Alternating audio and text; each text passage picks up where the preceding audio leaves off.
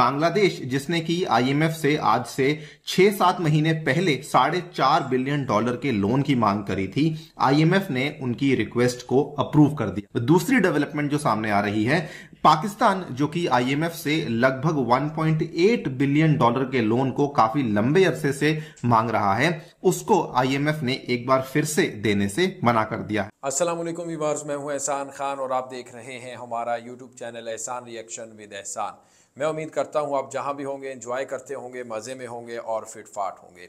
Viewers Indian media बहुत ही interesting एक reporting कर रहा है कि किस तरह से जो बांग्लादेश ने ये डिमांड की थी आईएमएफ से 4.7 बिलियन यूएस डॉलर की लोन लेने के लिए, और दूसरी तरफ़ पाकिस्तान ने भी की थी। लेकिन पाकिस्तान को जो लोन है, इमदाद वो जो पाकिस्तान ने one point something US dollar की की थी, लेकिन वो नहीं दी। लेकिन 4.7 बिलियन यूएस डॉलर की जो इमदाद थी हेल्प वो कर दी किसने? आईएमएफ ने बांग्लादेश को। लेकिन इसको इंडियन मीडिया किस तरह से बयान कर रहा है, क्या कह रहा है, और, कि बांग्लादेश को तो मिल गई।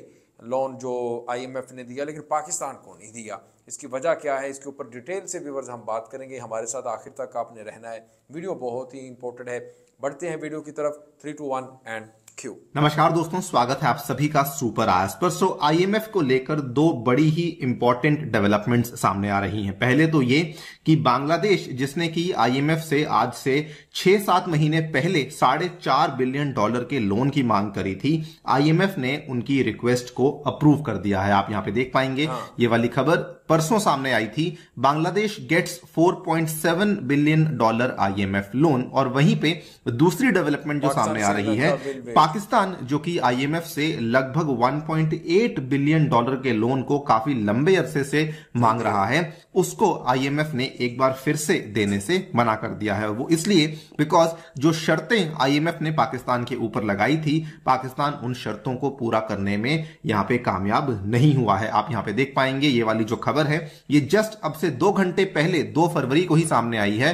IMF rejects Pakistan revised circular debt management plan ये वाली जो रिपोर्ट है, ये जस्ट आज एक बजे ही सामने आई है। International monetary fund has signed off on a 4.7 billion dollar support loan package for Bangladesh to help it with the soaring energy and food cost which have sparked huge protest तो यहाँ पर जो 4.7 बिलियन डॉलर का loan है, जो कि approximately मतलब कि 4700 मिलियन के आसपास का है तो उसमें से लगभग जो टेन परसेंट का पैसा है वो आईएमएफ के द्वारा इमीडिएटली अवेलेबल करवा दिया जाता है। तो इसमें होता क्या है कि आईएमएफ जब भी पैसे को रिलीज़ करती है तो उनको छोटे छोटे ट्रांशेज में रिलीज़ करती है मतलब कि टुकड़ों में रिलीज़ करती है। तो उसका जो पहला इंस्टॉलमेंट या पहला जो उसका टुकड़ा है, वो एक तरीके से अभी बांग्लादेश के लिए अवेलेबल करवा दिया जाएगा। लेकिन आपको यह भी ध्यान रखना है कि जब भी आईएमएफ यहाँ पे पैसा देती है तो साथ में कई सारे टर्म्स एंड कंडीशंस कई सारी शर्तें हैं जिनको लगाती है तो इन्होंने बांग्लादेश के ऊपर भी शर्तें लगाई हैं।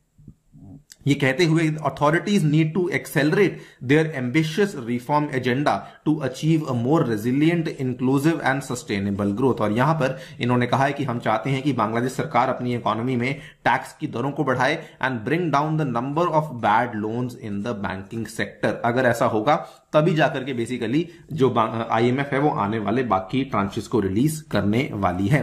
नाउ बांग्लादेश ने कहा है कि हम लोग डेफिनेटली इस पैसे का सबसे पहला इस्तेमाल तो यही करेंगे कि फॉरेक्स रिजर्व्स को बढ़ाएँगे बिकॉज़ वो बहुत कम हो चुके हैं। फोर्टी सिक्स बिलियन से केवल थर्टी फोर बिलियन तक आ चुके हैं। और क्योंकि यहाँ पर उनकी जो लोकल करेंसी थी वो काफ़ी गिर चुकी थी, जिसकी वजह से इन्फ्लेशन काफ़ी बढ़ चुका था तो हमारा जो सेकेंड एजेंडा होने वाला है वो है कि हम लोग हमारी लोकल करेंसी को थोड़ा अप्रिशिएट करवाएँ सो so दैट हमारे जो फ़ूड और एनर्जी के कॉस्ट हैं, जो महँगाई है, उसको भी हम लोग काबू में कर सकें। वहीं पर जो दूसरी खबर हमारे सामने आई है विद रिस्पेक्ट टू आईएमएफ वो ये है कि पाकिस्तान जो कि काफ़ी लंबे टाइम से कोशिश कर रहा था कि हमें हमारा 1.8 बिलियन डॉलर का जो ट्रांश है वो रिलीज़ करवा दिया जाए, वो अभी भी उसको क्लियरेंस नहीं मिली है। आज से दो दिन पहले आईएमएफ की एक डेडिकेटेड टीम थी जो कि पाकिस्तान में पहुँची थी to discuss the ninth review the IMF review mission led by Nathan Porter arrived in Islamabad on Monday and both sides will continue to hold talks to complete the pending ninth review under the seven billion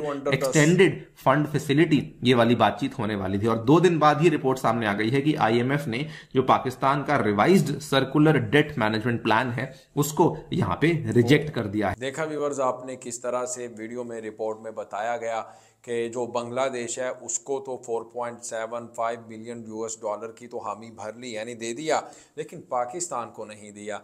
क्यों नहीं दिया? मैं इसको बता देता हूँ, जब economy आपकी बहुत ही कम हो जाए और फिर रिज़र्व्स आपके बहुत ही कम रह जाएँ तो फिर आईएमएफ भी आँखें दिखाना शुरू कर देता है और आईएमएफ भी उसके साथ डील नहीं करता। यही वजह है कि बांग्लादेश की जो इकॉनमी है, इतनी कमज़ोर नहीं है। उसकी इकॉनमी तो बहुत ही अच्छी है और फिर उसके साथ साथ उनके रिज़र्व भी इतने कम नहीं हैं और यही वजह है कि उनके ऊपर ट्रस्ट कर लिया है आईएमएफ ने। लेकिन पाकिस्तान के साथ वो आते हैं डिस्कशंस करते हैं, बातचीत करते हैं डिबेट्स करते हैं और फिर वापस चले जाते हैं, लेकिन लोन नहीं दे रहे। और क्या यही वजह है? और दूसरा, बांग्लादेश के साथ उन्होंने कुछ टर्म्स एंड कंडीशंस जिस तरह इस वीडियो में आपने देखा, उन्होंने रखी हैं, उन्होंने बताया है कि ये ये काम करेंगे टैक्स बढ़ाएँगे बैंकिंग सिस्टम को बेहतर करेंगे। तो फिर हमारी जो शर्त है, उसके ऊपर आप पूरा उतरेंगे। तो हम आपको इंस्टॉलमेंट के तौर पर ये जो है लोन देते रहेंगे। तो बहुत इंटरेस्टिंग वीडियो थी व्यूवर्स आपको ये वीडियो कैसी लगी, इसके बारे में आपने फीडबैक ज़रूर देना है। मिलते हैं नेक्स्ट वीडियो में, तब तक के लिए अल्लाह हाफिज़। Yeah.